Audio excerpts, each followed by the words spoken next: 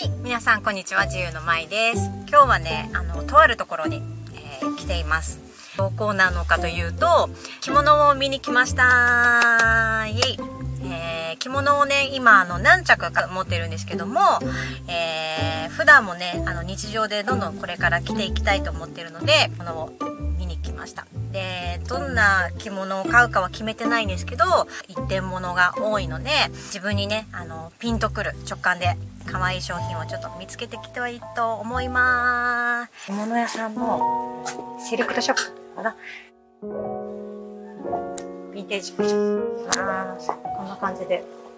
可愛い真っ赤な。色鮮やかな。海外の人とかすごい。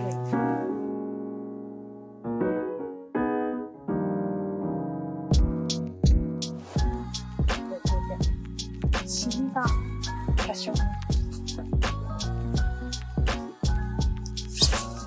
シミがあったりするんですけど、でも気にしない。人は全然ね、昔から着物ってあるので、気になる方はそうい。う着物のシミ抜き屋さんとしてもらってもいいと思います。じゃあそれでは探します。赤が鮮やかで、ピンクとかこんなに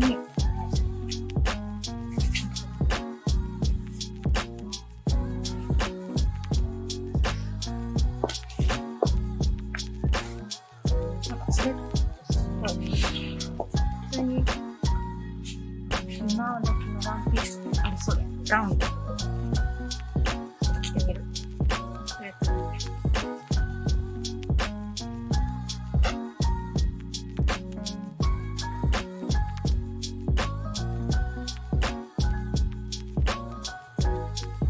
なんか一点物とかが多いんですよね。なので、サイズと自分のサイズと、デザインが好みのものがあったら、迷わず買った方が私はいいんじゃないかな。これとかね、すっごい素敵で。で、私服だとなかなか恥ずかしくて着れない大柄とかも、着物だと意外とね、その顔写りとか顔がね、生えたりとかして、着ると全然変わるので、なんでまたね、挑戦をまずして、でも性格的にえ数字で言うと7番が入ってるんですよね。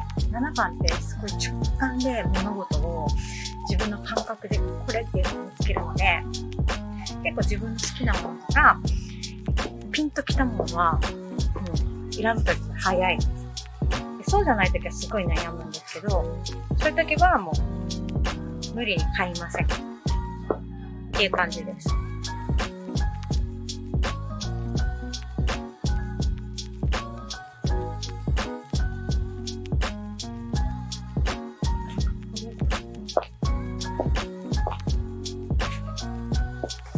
海外の人とか、やっぱなんかこう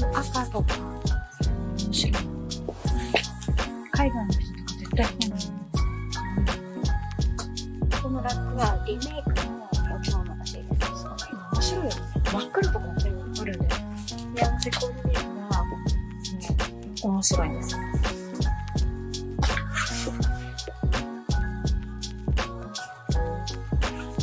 ん。な感じでちょっと結構、汚れはあるん。ですよね。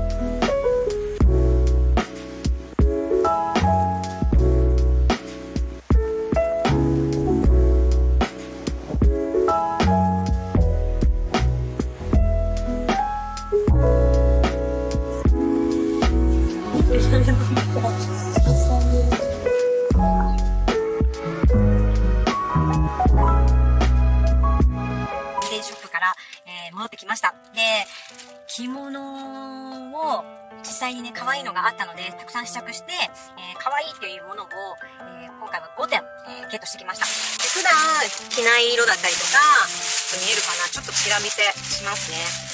ちょっとこういうちょっとロイヤルブルーだったりとか、ブラック、あとはピンク、お着物は4着買いました。ちょっと小豆色のね、こういうちょっと可愛い、普段着ないような色も買ったんですね。あとは、帯。何にでも合う、えー、色味、ちょっとゴールドベージュみたいなのを、えー、ゲットしてきました。お値段が、なんと、8710円っていうめちゃくちゃ安かったですね。で、えお着物ってすごい、あの、何十万、15万、30万とかって高いイメージがあるんですけども、私はその、なんだろうな、普段着ない色とかも市場でたくさん着ていくっていうのを楽しみたいので、えー、私は今日はヴィンテージショップゲットできてすごい嬉しいです。そんなに安い、あの、ヴィンテージショップ屋さんとかがあるっていうのを実際知らなかったので、着物ってね、ちょっと敷居が高いイメージがあったんですけど、実はそういう安いところもあるんだって知って、えー、着物のね、日常できる、その楽しみだったりとか、挑戦する幅も増えたんで、は、えー、これからどんどん挑戦していきたいなと思ってます。はい。で、次回は実際に今日買ったものをカフェに行ったりとか、えー、着てね、コーディネートもして、えー、組み合わせてみたいなと思ってます。えー、ご視聴ありがとうございました。またねー